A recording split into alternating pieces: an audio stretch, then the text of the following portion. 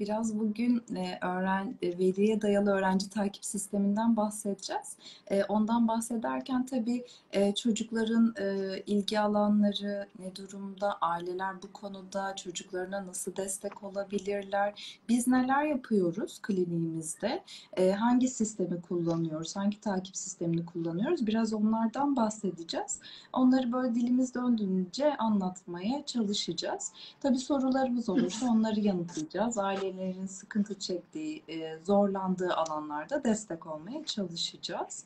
E, bakalım umarım keyifli bir e, canlı yayın olur. Öyle diliyorum. Ben böyle bir giriş yapmış olayım. Belki şeylerden başlayabiliriz. Ne dersiniz? Tabii sizin söyleyecekleriniz varsa hemen giriş Siz başlayın, ekleyelim arkasına. Tamamdır. Ee, sistemden bahsedelim mi? Ne dersiniz en sonu? O konuda endişeliyim. Hemen mi yapalım Bu sistem sonra? ne yapıyor, ne ediyor, ne evet. götürüyor, ne getiriyor hepsini tamam. konuşuruz zaten. Tamam, peki. Biraz o zaman sistemle başlayalım. Biz tabii merkezimizde e, öğren veriye dayalı öğrenci takip sistemini kullanıyoruz. E, biraz bahsetmiştik daha öncesinde bu sistem nedir, ne işe yarar diye ama detaylı e, üzerinde konuşmamıştık. E, bu sistem tabii Oktay Aydın tarafından geliştirilen bir sistem. Yardımcı doçent doktor Oktay Aydın tarafından ve biz de merkezimizde uyguluyoruz.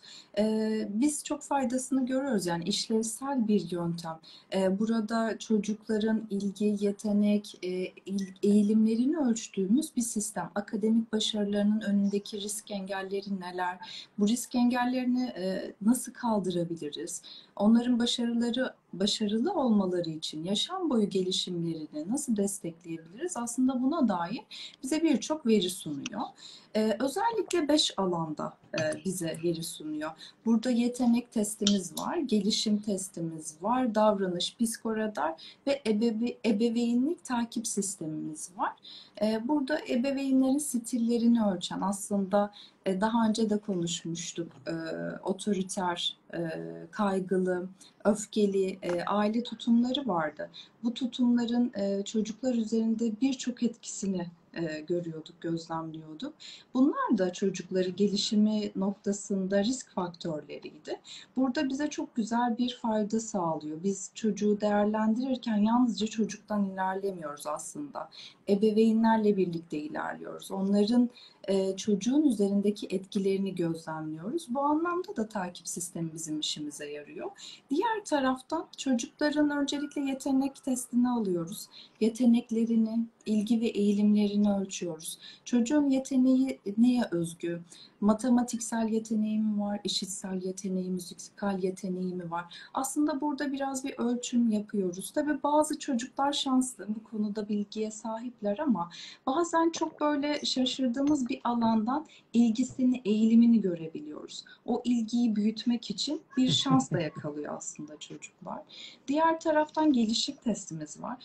Çocuk sağlıklı bir şekilde gelişimini e, tamamlayabilmiş mi? Geride mi kalmış, ileride mi? Bunu görebiliyoruz. Gelişimini tamamlayamadıysa, geride kaldıysa akranlarından bu konuda nasıl destek olabiliriz onlara? Aslında bunları görmüş oluyoruz. Önündeki o risk engellerini, risk faktörlerini ortadan kaldırma şansı elde ediyoruz. Diğer taraftan davranış testimiz var. Davranış testinde çocuğun e, dikkatini ölçebiliyoruz. Dikkat eksikliği olduğu alanlarda nasıl destek olabiliriz? Bunları görüyoruz. Diğer taraftan yine davranışsal olarak bir davranım bozukluğu bazen e, görebiliyoruz ve bu alanları saptayabiliyoruz. Tabii bu e, biraz daha böyle ilkokul, ortaokul formatı. Lise formatında psikoradar dediğimiz bir testimiz var. Bu testimizin içerisinde çocuğun akademik başarısının önündeki engeller neler? Tek tek bunları saptıyoruz. Şimdi akademik önündeki, e, akademik başarısının önündeki engeller dediğimizde böyle o kadar çok faktörlü bir şey ki bu her şey olabilir. Bunu daha spesifik bir alanda görme şansımız oluyor. Yani biz eğer bir, bir sorunu çözmek istiyorsak önce o sorunun ne olduğunu net olarak bilmemiz gerekiyor. Çocuk ödev mi yapmak istemiyor? Ödev yapmıyorsa neden yapmıyor? Okula mı gitmek istemiyor? Okula gitmek istemiyorsa akademik başarısıyla ilgili bir durum mu? Çocuk akran zorbalığına mı maruz kalıyor?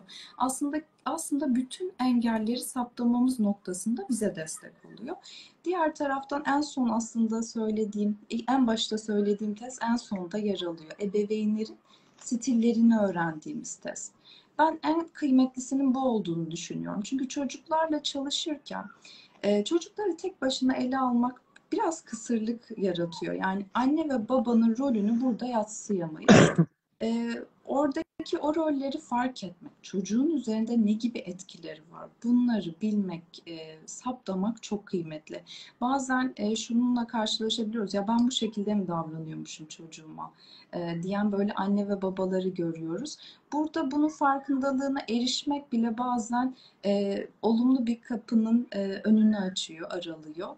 E, dolayısıyla bu anlamda e, bize ışık tutan, e, terapide e, işimize yarayan çocuğun gelişimini destekleme noktasında e, çokça faydasını gördüğümüz bir sistem. O yüzden bugün ele almak istedik. Ben böyle biraz hızlıca mı anlattım bilmiyorum yine detaylı da bahsederiz. Ama genel olarak maddeler bu şekilde. İrdelediğimiz sistem bu bütüncül bir yaklaşım aslında.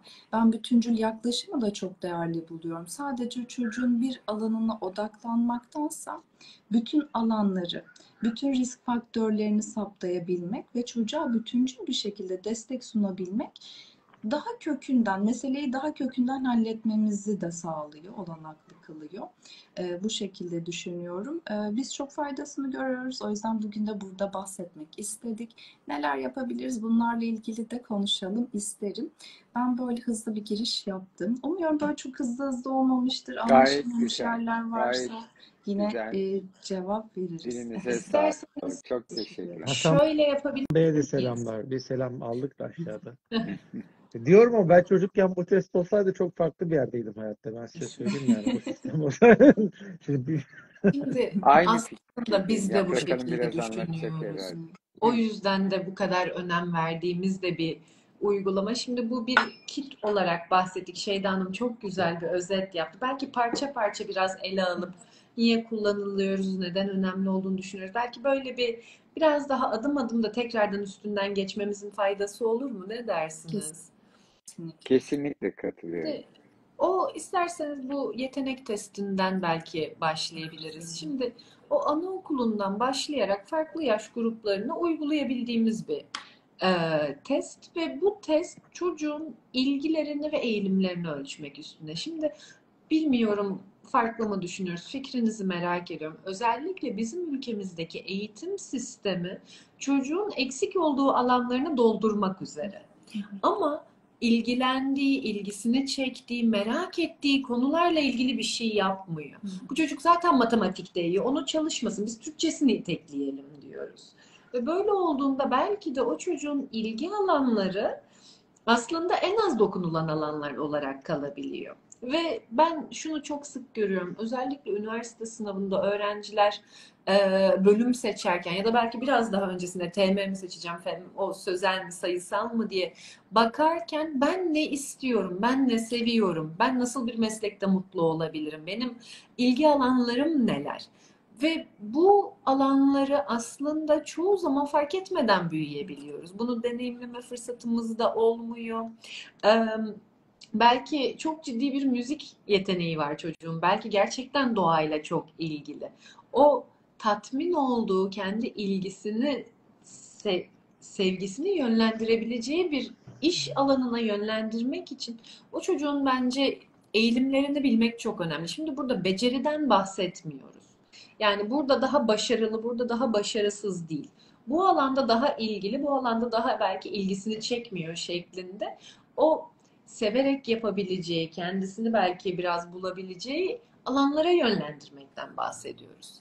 Ben de biraz bunun öneminden bahsedeyim. Buyur Ali Dört. Öneminden bahsetmeden gerçek hayat örneği vereyim. Biz e, Yaprak Hanım'la aynı ortaokul liseden mezunuz. Bize bir test yaptılar. Aşağı yukarı 15 dakika falan sürdü. İşte bizim geleceğimizi bildi PDR. İşte şuna yatkınsın, şuna bilmem nesi bunu diyor ama bu sistem olsaydı belki çok daha farklı. Yani bizim bütün ölçümümüz 6 sene içerisinde, 7 sene içerisinde 15 dakikalık bir testti. Bilmiyorum aynısını yaprak hanımlar yaşadım ama benden birkaç sene daha aşağısı olduğu için bilemiyorum.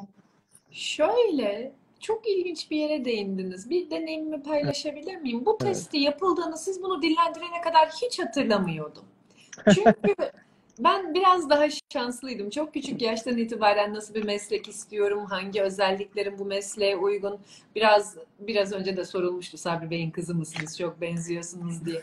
Hem bilinçli de ve psikiyatrist de bir babayla birlikte büyüyünce farklı meslek grupları, farklı ilgi alanlarını gözlemleme fırsatım da oldu ve ben mesleğimi gerçekten çok görece olarak genç bir yaşta kabul fa- fark etmiştim. Ona göre il eğitimimi ayarladım. Üniversite sınavına girdiğimde tek bir tercihim vardı. Birinci tercihime girdim. Yani bu aslında pek çok öğrencinin sahip olmadığı bir fırsat.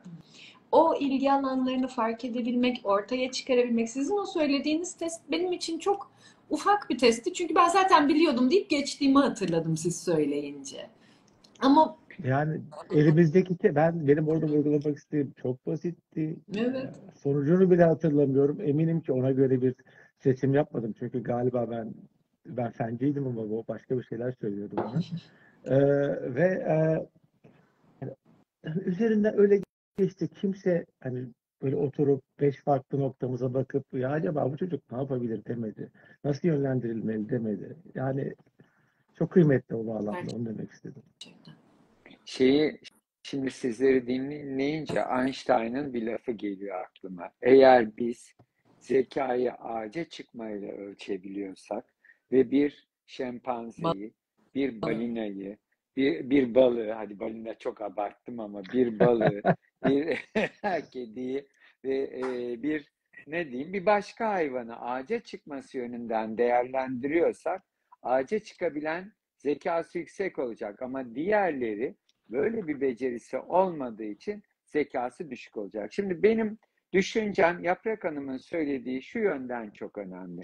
Biz başarılı olduğu alanları desteklersek bir çocuğun kendisini çok iyi hissedecek, motive olacak. O alanda çok daha hızlı gidecek ve biz onun hani eksiklerini tamamlama yönüne gittiğimizde aslında başarılı kısmını da eksikleriyle aynı yere getiriyoruz. Hadi eksikleri çıktığında en fazla bir bazal düzey kazanıyor.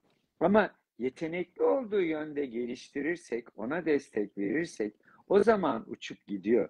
Biz maalesef çocuklarımızı aynı hizaya getirmeye çalışıyoruz. Hayır, onların başarılı oldukları yönleri ilettiğimizde aslında diğerlerini de çekecek. Ben yapabilirim diyecek. Ama ne oluyor? Biz onların hep eksiklerini tamamlamaya çalıştığımızda eksikler bana göre hep eksik kalacak. Yani tamamlasa da gene eksiğin biraz üstünde kalacak. Fakat bu arada onun en önemli yeteneğini, en önemli ilgi kaynağını elinden almış olacağız. Hayallerini elinden almış olacağız diye düşünüyorum. Belki çok abartılı bir şey ama bu gerçekten çok önemli. Yani bir insan aynı anda hem matematik bilmek zorunda değil, hem Türkçesi, hem coğrafyası, her şeyi aynı anda bilemez. Ama ona başarılı olduğu bir alanda, bu müzik olabilir, fen bilimleri olabilir, çok hoşuma gidiyor. Çocuklar çok güzel şeylerle geliyor. Ben diyor, astroloji okumak istiyorum diyor. Ben diyor, arkeoloji yani gerçekten hayret ediyorum. Bunları nereden öğreniyorlar? Ama bunları biz yönlendirirsek onların kapasitelerini arttırmaya ve hayatta da başarılı olmalarına e, destek oluruz diye düşünüyorum. Hep bahsediyoruz ya keşfeden aile ve şekillendiren aile diye. Evet. Keşfeden aile üzerinde hep bir görev e, varmış gibi hissediyor. Çocuğuma şunları şunları öğretmeliyim, şunları yapmalıyım. Biraz daha böyle inşa eder bir e, haldeler. Diğeri daha böyle keşfeden çocuğum e, ne istiyor, yetenekleri neler, ilgi eğilimleri neler, nelerden hoşlanıyor, nelerden keyif alıyor. Biraz daha böyle sorgulayan, biraz daha aslında özgür bırakan aileler diyebiliriz. Tabii burada esnek aileden bahsetmiyorum. E, belirli sınırları olan, o sınırlar içerisinde de çocuğun kendini keşfedebileceği bir alan tanıyan e, taraftan bahsediyorum. E, bu tabii e, hem çocukların işini kolaylaştıran bir şey oluyor keşfeden aileyle yaşamaları hem de ebeveynlerin de işini kolaylaştırıyor aslında. Çocuğumuza empoze ettiğimiz her şeyde inatçılık görüyoruz. Yani biz inatçılığı zaten e, bir baskı sonucunda görüyoruz. Ne zaman bir inatçılıkla karşılaşsak hep şunu söylüyorum yani kontrolcü müsünüz? Kontrolcü davranır mısınız? Genellikle böyle anne ve babaların çocuklarında inatçılıkla karşılaşıyoruz. Hatta ben inatçılığı görünce seviniyorum çocuk adına. Çünkü kendi alanını koruyabiliyor demek bu. Kendi sınırlarını çizebiliyor. E, ben kendi isteklerimi dile getirebiliyorum diyor. Yani boyun eğmiyor aslında. Ve bizim istediğimiz, anne ve babaların istediği şeyler de genellikle bu. Çocuğum dışarıya karşı boyun eğici olmasın. Herkesin istediğini kabul etmesin. Ama ev ortamına gelince bu tam tersi olabiliyor. Yani bizim de sözümüzü dinlesin, bize boyun eğsin. Tabii bu durumda çocuk e, çelişkiye düşüyor. E, amaç burada yine o inatçılığı geliştirmemesinde kontrolcülük, kontrolcülüğün altında biraz daha şekillendiren aile yatıyor. Bu şekillendiren aile e, çocuğun gerçekten ne istediğini e, bilememesinin önündeki engellerden bir tanesi de haline gelebiliyor aslında. Bir şey sorabilir miyim? Orada bence ince bir çizgi var. Hani kontrol etmek veya disiplinli yani structured bir hayat sunmak arasında bir çizgi var. Hani onu da açabilirseniz sevineceğim. Çünkü kontrol okey ama bir de belli bir disiplin yarattığınızda çocuk için daha hayırlı olabiliyor. Kesinlikle. Ben işte o şeyde hani esnek aileden bahsetmiyorum dediğimde aslında söylemek istediğim şey o sorduğunuz şeyde. E, sınırlar olmalı ama o sınırlar biraz geniş olmalı diye düşünüyorum. O geniş sınırlar içerisinde çocuk özgür olmalı. Hani şu demek değil Dışarısı işte e, sıfır derece, bir derece. Dışarıya montsuz e, çıkmak bir seçenek olmamalı onun için. Ama hangi montu giyeceği bir seçenek olabilir. Bu geniş sınırlar içerisinde özgür kalmayı da getiriyor. Ya da işte diş fırçalamamak bir seçenek olmamalı. Ama hangi diş fırçasıyla dişini fırçalayacağı ya da hangi diş macununu kullanacağı ya da diş fırçasını kendi alabileceği özgürlüğü olmalı. Aslında söylemek istediğim şey bu. Diğeri ihmalkarlığa giriyor çünkü. Kontrolcülük bir tarafta da ihmalkarlık. Biz daha dengede olan şeyi istiyoruz aslında. Çocuğun kendi gelişimine bir alan bırakabilmek belki. Geçtiğimiz günlerde çok güzel bir videoya denk geldim. Ay belki denk gelmişsinizdir size. Bir tane bebek iyice o şey emekleme çağında emek emek bir tane tahta ata tırmanıyor. Biraz debeleniyor, biraz zorlanıyor. Anne de yanında aferin hadi yapabilirsin. Alkış alkış yapıyor ve çocuğun kendisi çıkmasına izin veriyor. Orada o belki sabredebilmek, çocuğun kendi yapabilmesine izin verebilmek de çok önemli. Onu alıp çat diye ata oturtmaktansa kendi gelişimine bir fırsat verebilmek aslında. Kesinlikle. Ben de şunu paylaşmak istiyorum. Şimdi çocuklarımıza biz alan açtığımızda belirli şeyleri yapabilmelerine olanak sağladığımızda aslında onlar nelerde yetenekli olduklarını hem bu testlerle hem de onlara sağladığımız alanlarla kazanmaya başlayacaklar diye düşünüyorum. Yani işte hafif hafif spora yönlendirmek, müziğe yönlendirmek tamam çocuklar o yaşta maymun iştahlı olabilir. Bir şeye başlayıp ertesi günü bırakabilirler.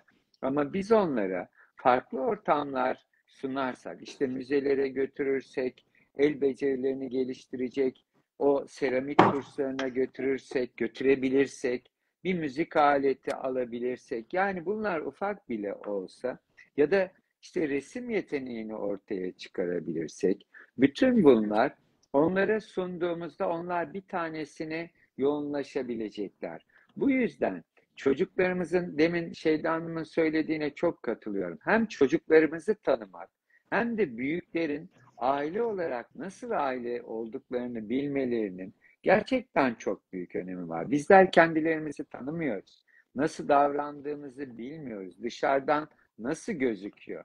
Çok mu müdahaleciyiz? Çoğunlukla öyle. Çok mu e, serbest bırakıp sonra çok serbest bıraktım diye alanını kısaltıyoruz. Yani anne baba sizlere katılıyorum.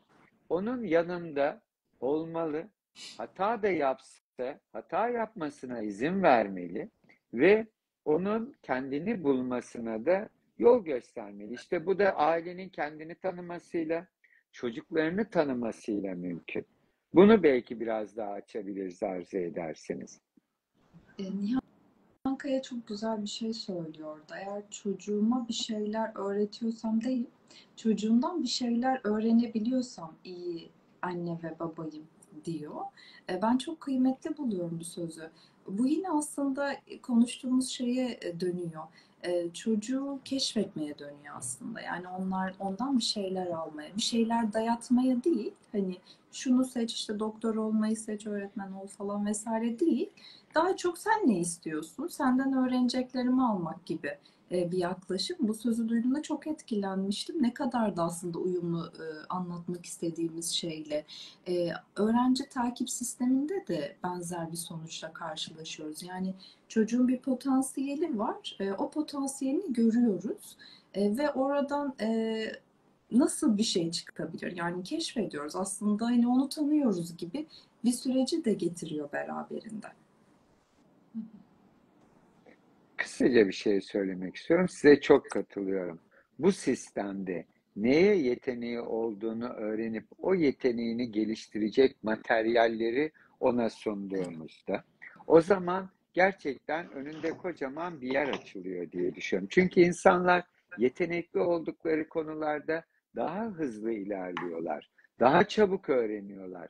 Öğrendikleri için daha çok mutlu oluyorlar. O yüzden onların kişisel gelişimlerinin hem takip edilmesi hem de neye ilgileri olduğu kadar yeteneklerinin de öğrenilmesinde büyük fayda var diye düşünüyorum. Bir de şöyle siz bunu söylerken aslında şunu düşündüm. Ne dersiniz? Bir öğrencinin neye ilgisi olduğunu öğrenebilmek için sonsuz bir ihtimalden seçmek ve onu bulmak biraz daha zor. Ama çocuğunuzun özellikle müzikal ilgisinin çok yüksek olduğunu öğrenirsiniz ve mesela diyelim ki e, ork çaldı ve hoşuna gitmedi. Başka müzik aletleri deneyebilir. Şarkı söylemeyi deneyebilir, başka e, bir koroya girmeyi deneyebilir. Yani onu ne şekilde farklı yönlere yönlendirebileceğimizle ilgili de bilgi veriyor aslında. Kesinlikle. Ayrıca da bunları yaptığımızda da özgüven kazanıyor. İnsan başardıkça başarabilme arzusunu duyuyor. Yani başaramadığı sürece ben yeteneksizim diye düşünüyor. Ne dersin Ali dostum? Demin bir soru geçti de konumuzla alakalı diye. Evet. Ama sorun yani yüzeysel gezeceğim. Biz bunu ömür boyu yapacak. Nasıl? Sorunun içeriği farklıydı ama yani biz bunu ömür boyu yapacak mıyız sorusu bence sizin dediğiniz gibi. Biz evet siz ömür boyu yeteneksizsiniz diye düşüneceksiniz. Adım atıp cesaret edip e, cesaret dediğimde e, becerememe cesareti ilk denemede. E, sonra becermeye başlayana kadar. Ben orada size çok katılıyorum. Biz bunu ömür boyu böyle mi hissedeceğiz? E, siz adım atıp değiştirmediğiniz sürece ömür boyu böyle hissedeceksiniz.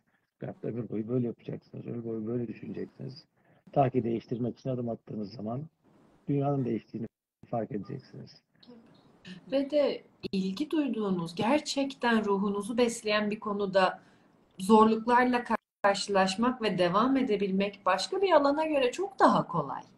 Çünkü sizin için gerçekten anlamlı bir şey için çaba sarf ettiğinizi biliyorsunuz. Ve böyle olduğunda özellikle de o ilerleme, gelişme sürecinin hatasız olmayacağını da varsayarsak mutlaka o adımları atmak daha kolaylaşıyor böyle olduğunda.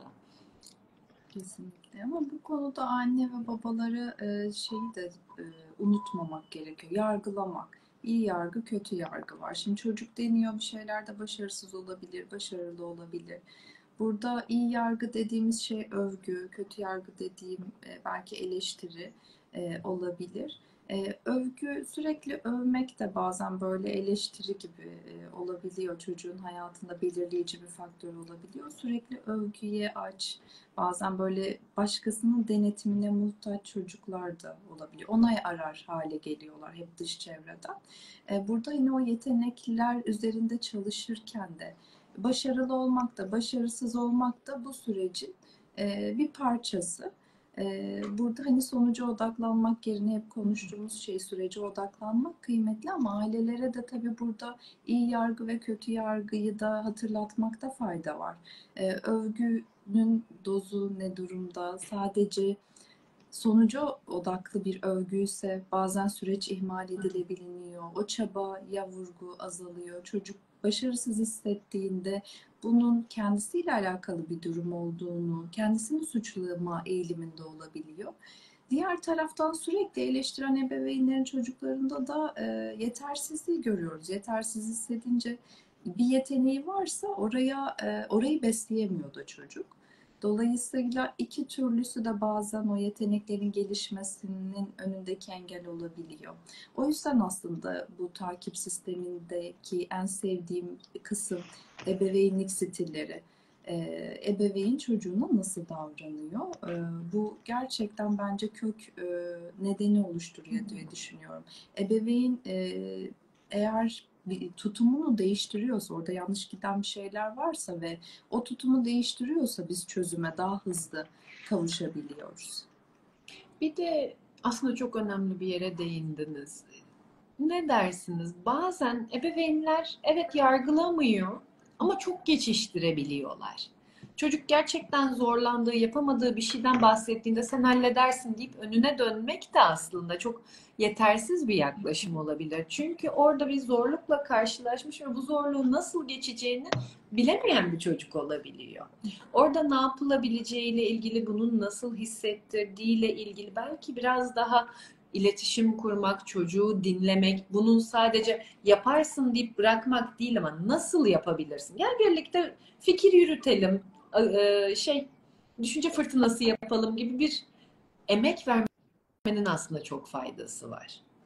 Ne dersiniz? Söylediğinizi ben şunu da düşünüyorum. Biz ebeveynler hep önden gidiyoruz.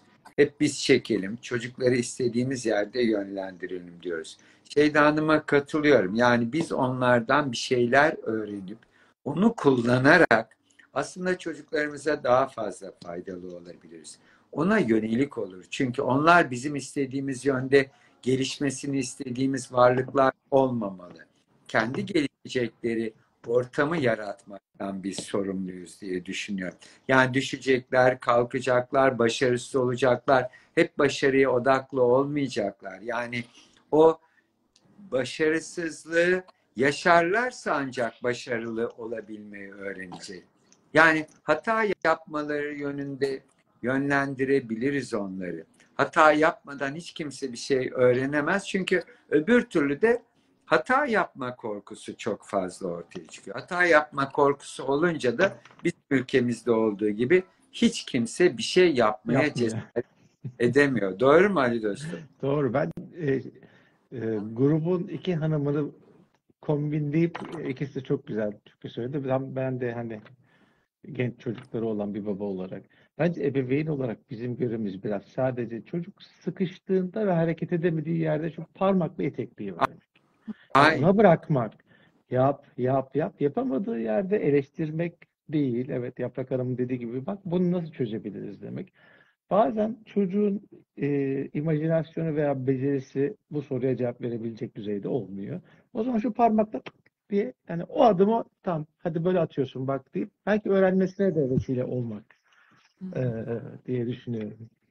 Çok katılıyorum Yani şöyle bir hafif itmek bazen o adımı atarak başlayan bir şey.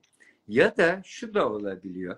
Birlikte oturup başka çözüm yolları bulmak. Şimdi dönüp dönüp aynı çözüm yolu belki o çocuğun akıl edemediği bir çözüm yolu. Ama birlikte oturup acaba şöyle mi yapsak deyip onu yönlendirebilmek, e, onun gene kendisinin bulmasını sağlamak yönünden önemli diye düşünüyorum. Yani bizler edindiğimiz tecrübelerle onların e, hayatta bir şekilde o labirent gibi düşünelim aslında hayatı. Bence çok benziyor.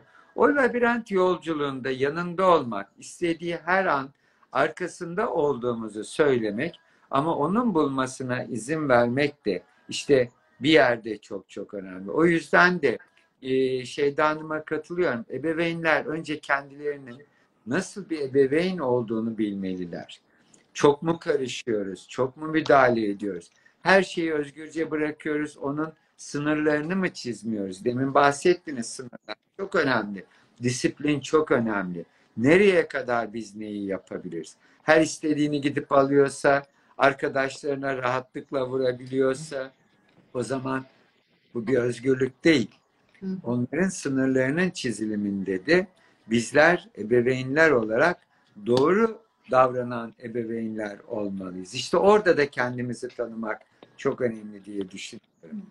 Kesinlikle çünkü özellikle o helikopter ebeveynlikte çok e, başında olan problemleri çözen her şeye müdahil olan ebeveynler çocuklarına kötülük yapmak istedikleri için değil ya da onları sevmedikleri için değil. Bazen o davranışların her ne kadar iyi niyetle yapılsa bile gelecekte nasıl etki edebileceğini öngöremeyebiliyoruz.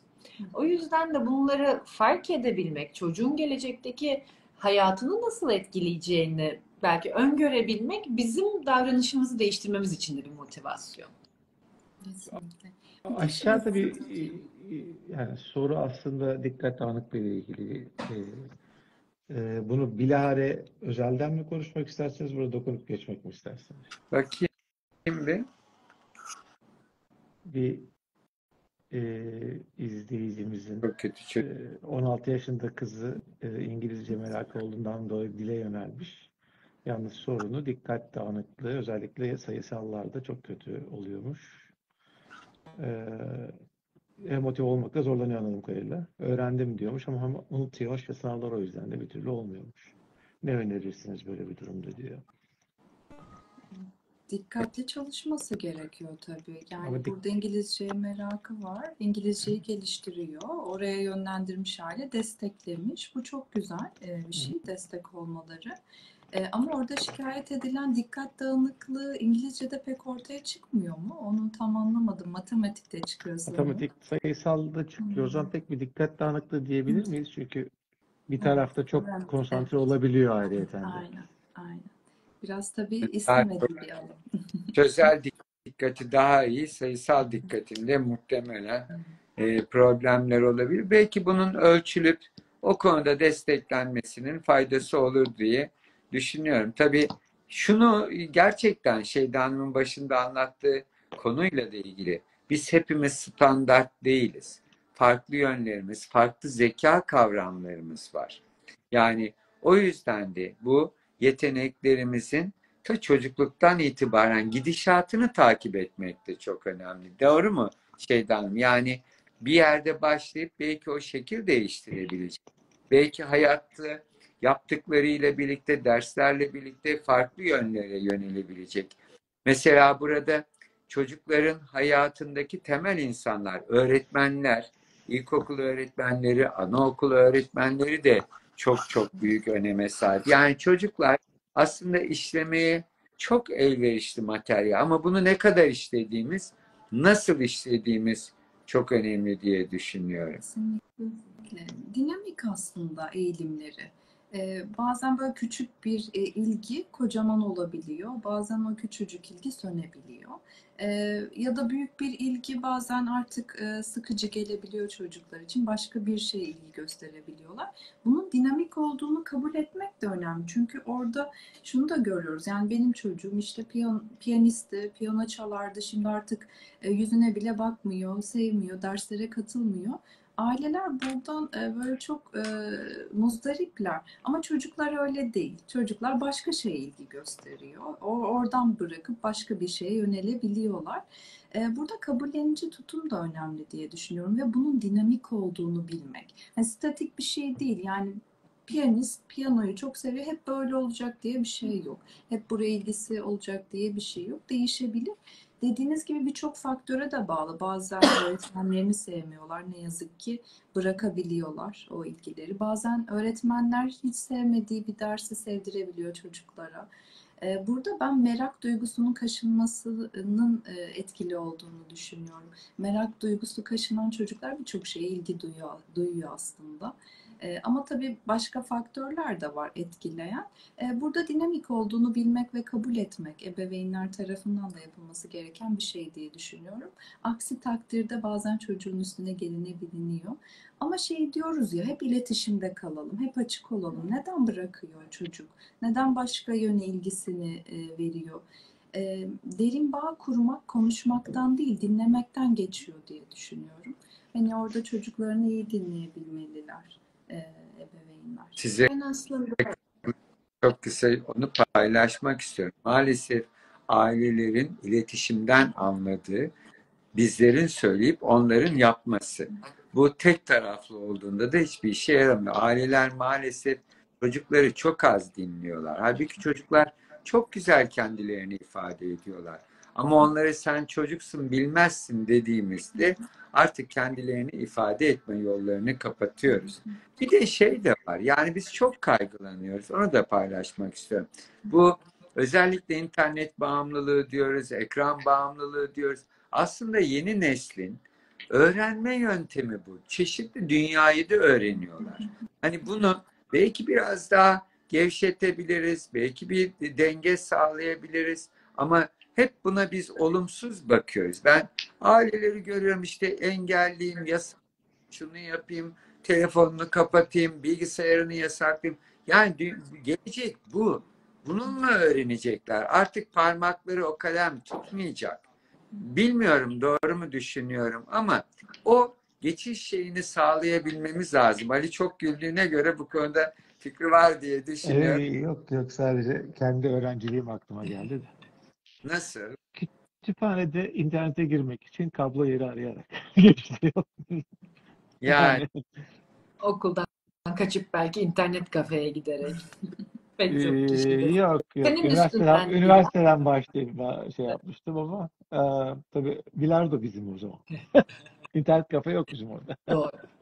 Şimdi ben de biraz şöyle bir şey eklemek istiyorum. Bu söylediklerinize kesinlikle katılıyorum. Şeyda Hanım'ın özellikle söylediği çocukları dinlemek, onun söylediklerini duymak.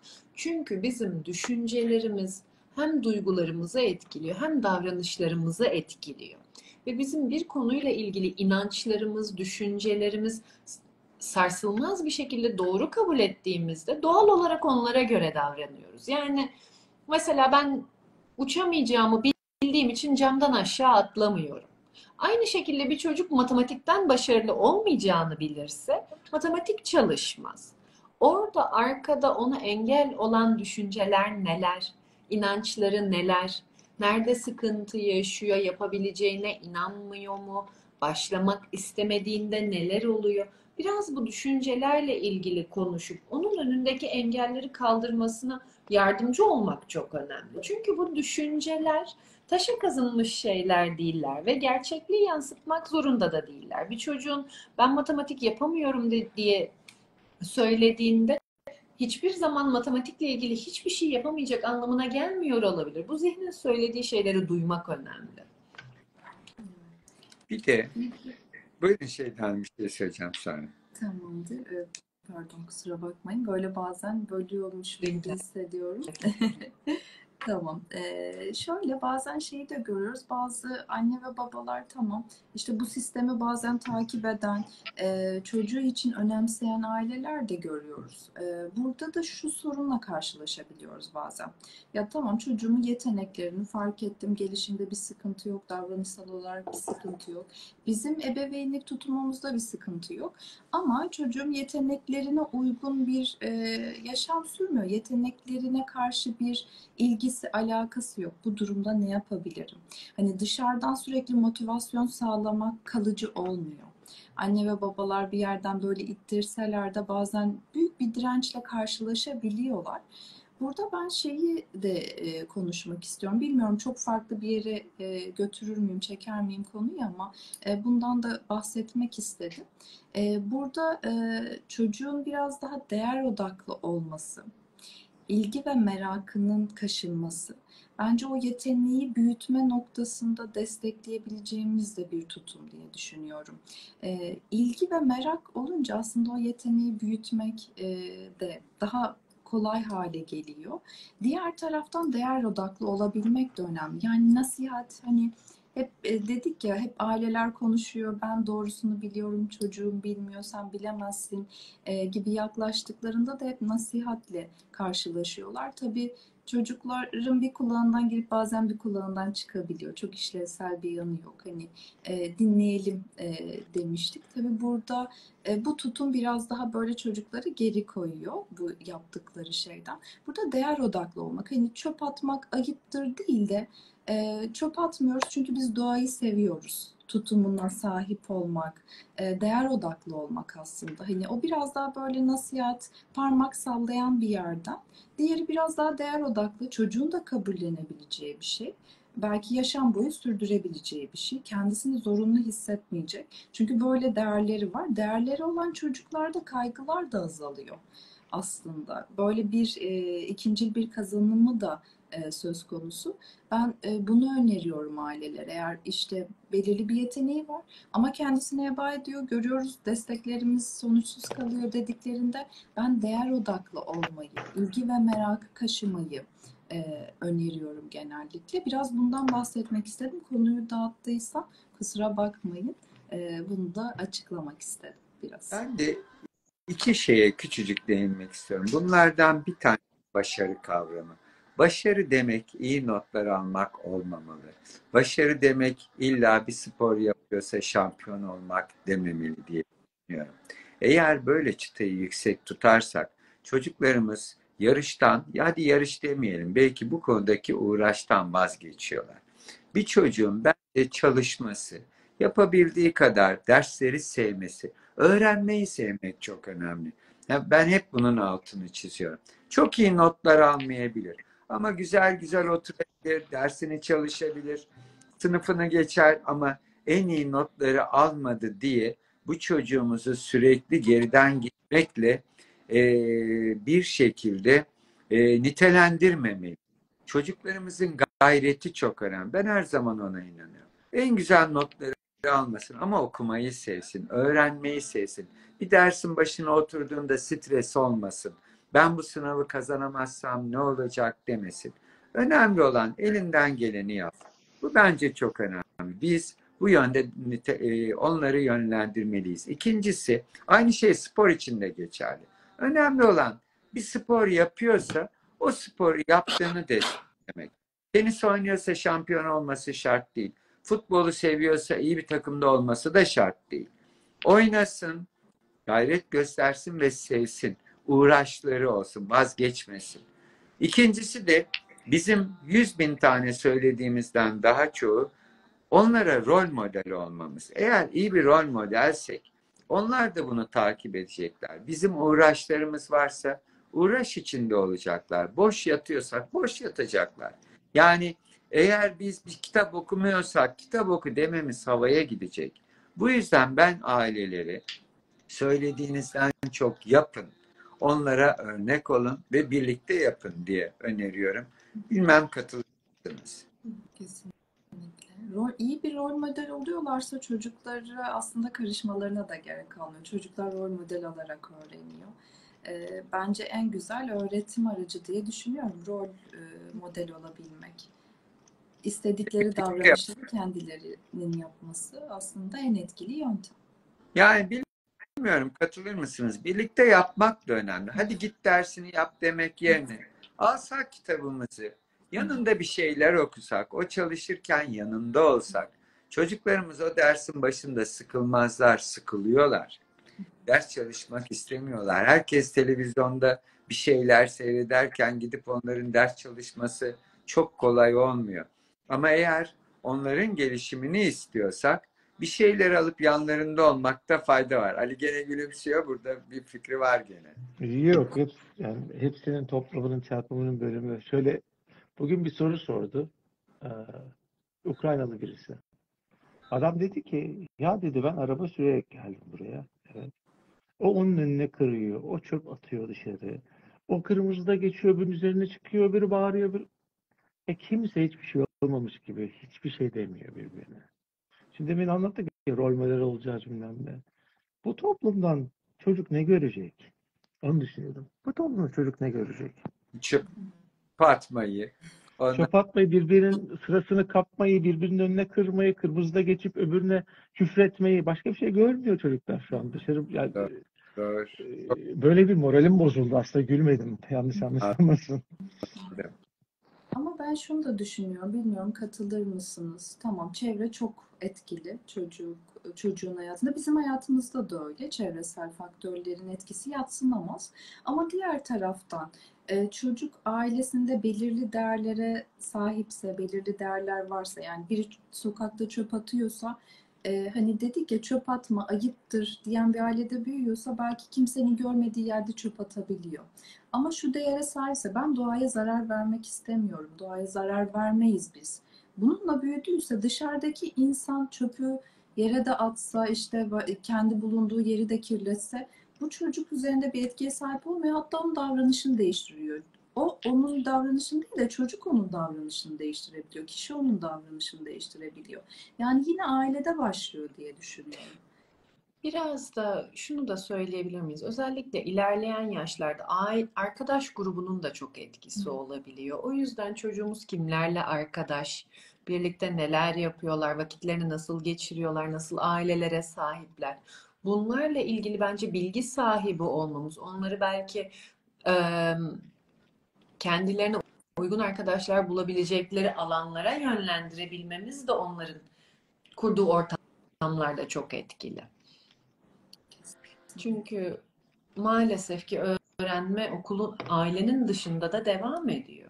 Ben şöyle de düşünüyorum. Ailenin yetiştirmesi gerçekten çok önemli. Eğer ailede iyi yetişmişse, gelecekte kötü arkadaşı da olsa, kötüyü denese de geriye iyiye dönüyor ve kötü yolda gitmeyebiliyor. O değerler katılıyor Eda. Onu bir ortalamada tutuyor diye düşünüyorum. Ama ailede problem varsa, sıkıntılıysa, sürekli kavga, dövüş yani bunlarla gidiyorsa o zaman onu ne yaparsak yapalım en iyi ortamda da tutmaya çalışsak o zaman maalesef ortadan ayrılması daha kolay oluyor diye düşünüyorum. Onun için iyi bir aile ortamı çocuklara verilebilecek en büyük ortam diye.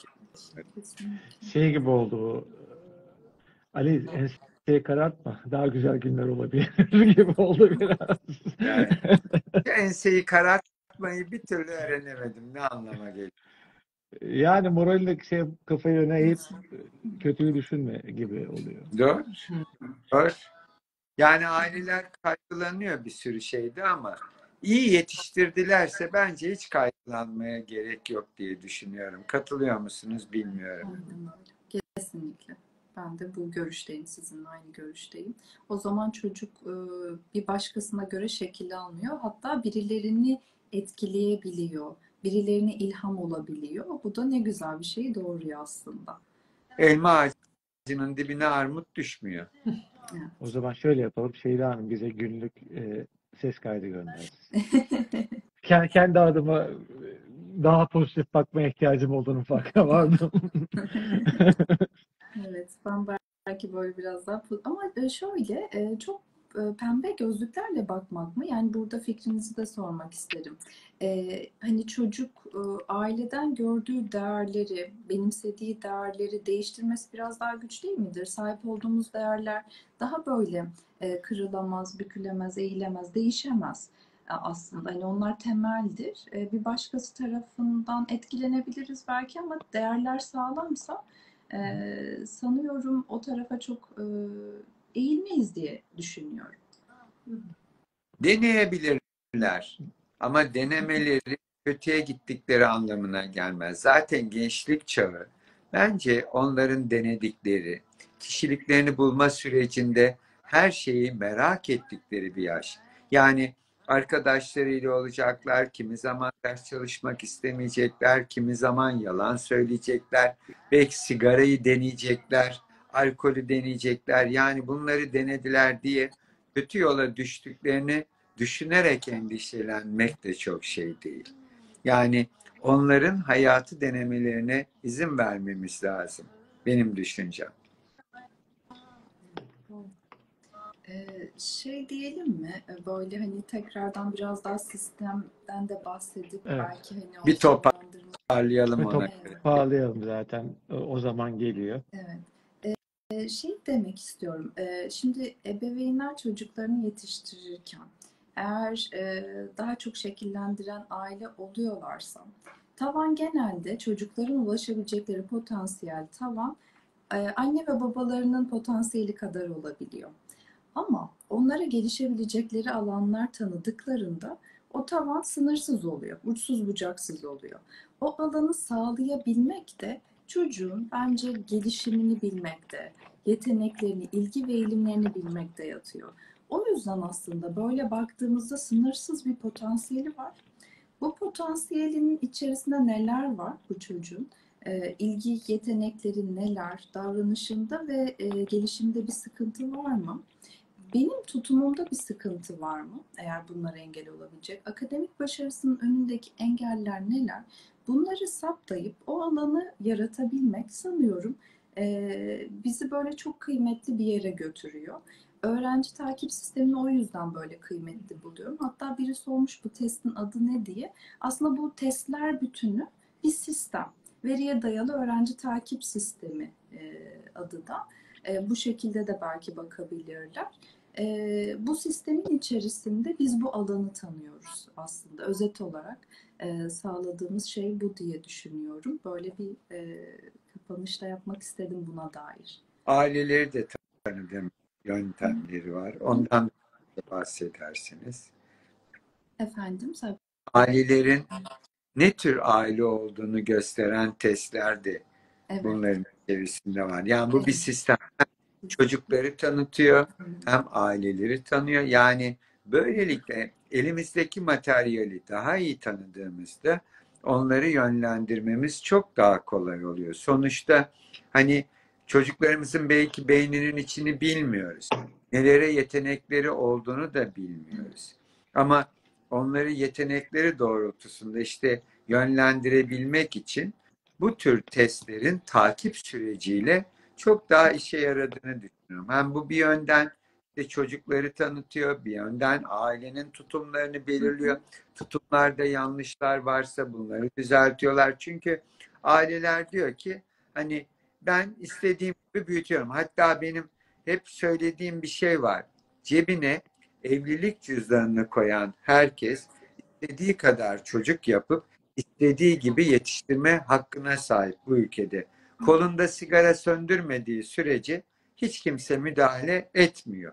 Öyle olunca yani bildikleriyle yetiştiriyorlar. El yordamıyla yetiştiriyor. Halbuki artık günümüzde o çocukların daha kıymetli yetişmeleri için onları tanımak, ailenin kendini tanıması, davranışlarını bilmesi çok daha büyük önem var ki işte bu da yaptığımız testlerle anlaşılıyor diyorsunuz. Kesinlikle. Ee, dedim ya belki de en sevdiğim kısmı buydu bu sisteme dair. Anne ve babanın tutumunu fark etmesi. Korumacı bir stilde mi, kaygılı bir stilde mi, e, ihmalkar bir stilde mi? Bunları keşfetmesi aslında çocuğa karşı yaklaşımını da değiştiriyor. E, burada fark etmek birincil adım. Fark etmeyi sağlıyor aslında ve kabul etmeyi de beraberinde getiriyor. Çünkü orada somut bir veri var buna dair. Bu stile sahip bir şekilde çocuğu e, yetiştiriyor ebeveyn ve dolayısıyla bunu kabulleniş ve fark ediş iyileşmenin de anahtarı diye düşünüyorum. Değişimin de anahtarı. O yüzden çok kıymetli. E, en çok böyle kıymetli gördüğüm yerlerden bir tanesi de bu sisteme dair. Ve de bu sistemin belki tek seferlik değil ama yıllar içinde tekrarlanabilir, kıyaslanabilir sonuçlar veriyor olması da o davranışların sonuçlarını gözlemlememizi de sağlıyor. Çocuğun gelişimini takip edebilmelerini, belki yeni ilgili alanlarını, değişimleri hep geçmişle kıyaslayarak o gelişimi takip etme, etmeyi de kolaylaştırıyor. Kesinlikle. En önemli şeylerden de biri bu. Belki üzerinde çok durmadık. Ee, Çok iyi hatırlattınız. Aslında bu yaşam boyu bir e, gelişimi de gösteriyor bize. Anaokulundan e, bu sistemi alan bir çocuk e, üniversite yaşantısına kadar bu sistemle birlikte ilgi ve alanlarını yeniden düzenleyebiliyor. Hani dedik ya dinamik aslında. İlgi alanları bazen farklı yerlere kayabiliyor. Burada o gelişimini de görüyor çocuk diğer taraftan. Ömür boyu belki uzun süre kendi gelişimini takip edebileceği bir sistem, bir e, dosyası oluyor. E, bu da çok kıymetli diye düşünüyorum. Geçmişe yönelik bir veri sunuyor aslında bize. Yavaş yavaş programımızın sonuna geliyoruz. Evet, herkesin söylemek istediklerini dinlemek istiyorum. Önce Yaprak Hanım'a atıyorum topu. Bence gerçekten çok güzel bir kapanış yaptık bile gibi hissediyorum ama eklemek istedikleriniz için lütfen buyurun. Gibi hissetmeyin. Öyle yaptık. Öyle yaptık. Çok güzel yaptık. Evet. O zaman şöyle toparlayayım ben kısaca. Ee, çocuklarımızı iyi yetiştirebilmek için onları tanımak, yeteneklerini bilmek, ilgi alanlarını bilmek, kendimizi bilmek gerçekten çok önemli. Bunu bilemeyebiliriz. Yani bu konuda eğitim almamış olabiliriz. Çok fazla bilgimiz olmayabilir. Ama bunu veren testlerden faydalanmak, bunlarla kendimizi, çocuğumuzu görmenin önemli olduğunu düşünüyorum. Kesinlikle. Bu alanı sağlayabilecek bir test, e, bir sistem, e, ömür boyu erişebilecekleri bir e, veri aslında. E, O yüzden kıymetli. E, Umuyorum e, anlaşılır olmuştur. Dilimiz döndüğünce anlatmaya çalıştık. Sorular olursa her zaman e, yanıtlamak için buradayız. Evet. Evet. Çok O teşekkürler. zaman iyi akşamlar. İyi akşamlar. İyi akşamlar. İyi akşamlar.